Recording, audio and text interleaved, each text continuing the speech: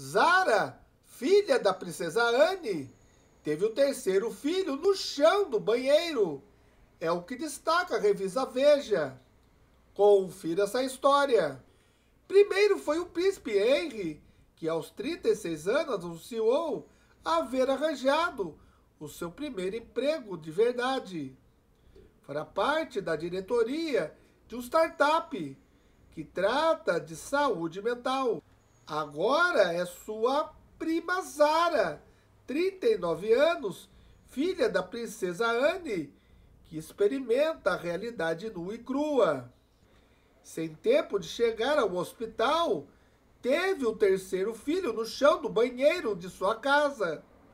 Lucas, 3 quilos 700 gramas.